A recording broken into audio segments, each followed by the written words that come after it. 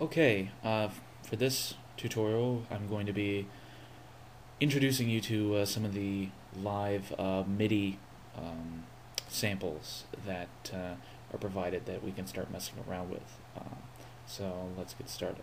Um, as you can see, I'm in session view currently, and um, what I did was I went to the Ableton website, uh, which is a very, very helpful website, and I'll actually be making a note of it later in, a, in another tutorial. Um, I went to the Ableton website and I downloaded the Live 7 Legacy pack. Um, uh, I already have it installed, and um, as you can see, it includes a bunch of different one uh, folders. It has drums, keys, mallets, uh, strings, synth, uh, sound effects, and voice. Um, gonna keep it simple for now. We're gonna go to drums, and um, we have a whole bunch of uh, drums sorted by acoustic and electronic. I'm gonna go to acoustic, and I'll just go to the first one here. Um, and let's see. I'll just uh, double click on this file here. And as you can see, um, it has uh, thrown it over into uh, the session view for us to work with.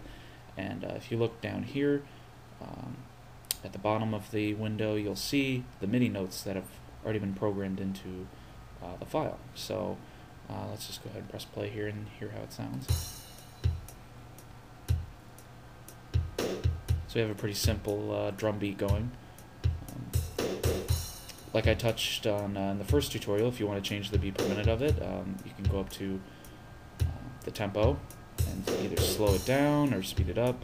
I'm going to keep it at 120, the default for now. press stop and go back to the beginning by double clicking on the stop button. Um, a couple quick things to note. Um, as you can see, the drum, um, the MIDI drums started its own track here. Um, and that allows you to control, uh, gives you some preferences to choose from. Uh, down here at the bottom of the track uh, is where all the important stuff is. Um, this bar right here, if you see me click and drag it, this is the track volume. This is the volume that is specific to the track. Um, if you want to just turn down the drums, if we had more uh, tracks uh, on here, um, this would just turn down the track volume and nothing else, or uh, the drum volume, I should say. Um, if you want to turn down the whole project, come all the way down uh, to the bottom right over here, and this is the master volume here, and you can alter that uh, to your liking. Um, this yellow button here, this yellow square, it's called a track activator, and what it does is that it um, just like it says, it activates the track.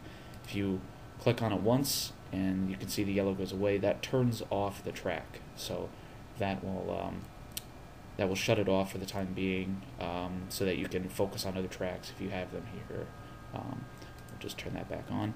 Uh, the button below it, the uh, the little S icon, it's called the solo slash cue.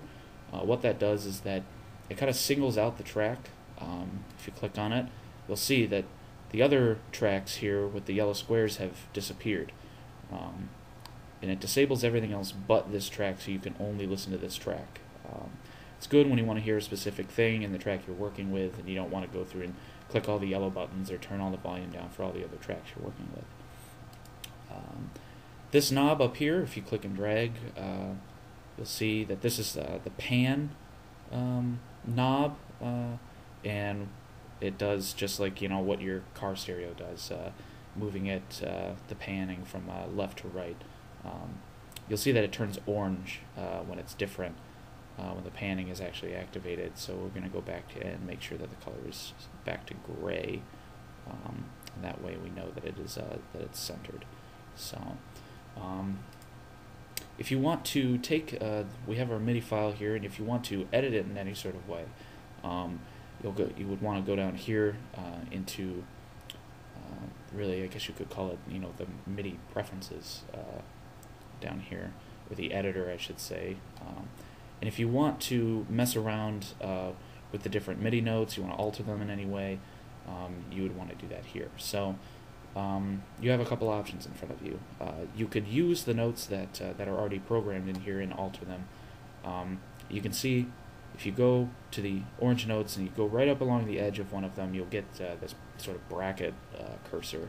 What you can do is you can make the notes uh, longer by clicking and dragging.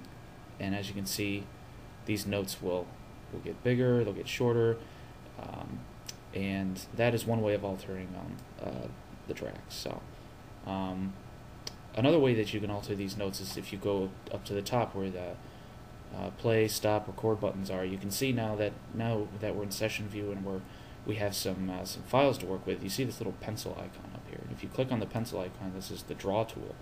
Um, and what you can do with that is, is you can come back down here to uh, to the editor, and if you just click on here, you'll see that it adds it adds notes to to the track. Um, this is probably the preferred way. Uh, it's a lot quicker, um, and it allows you to create, um, you know, create new tracks instead of working with the old ones.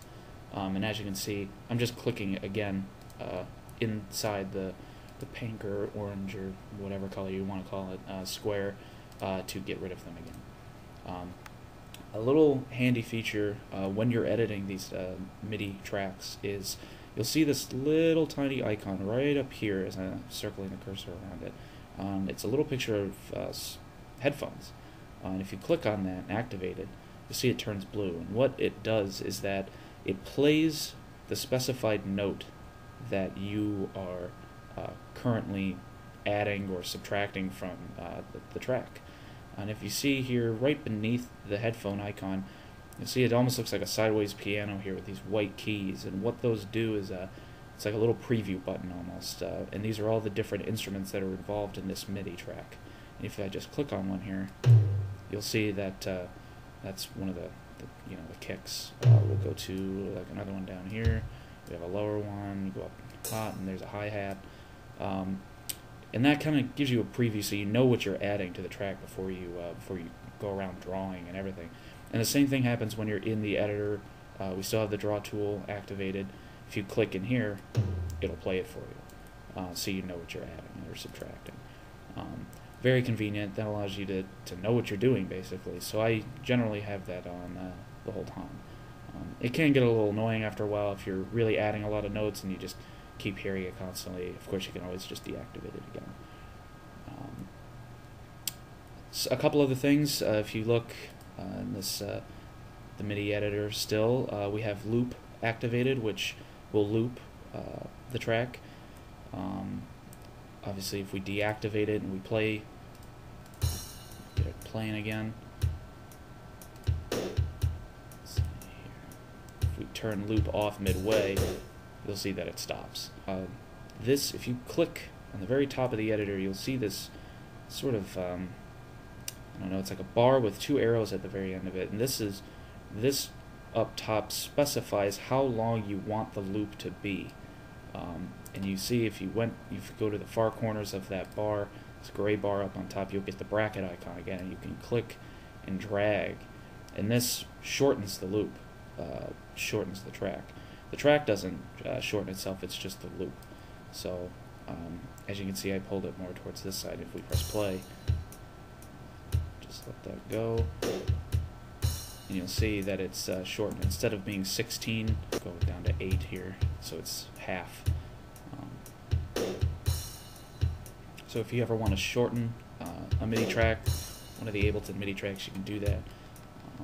Um, you always want to make sure that uh, you know, you're not going over. Uh, just as an example, if we turn up the volume here, jack it up really high, you'll see that it turns red. And that's not what you want. That's called clipping.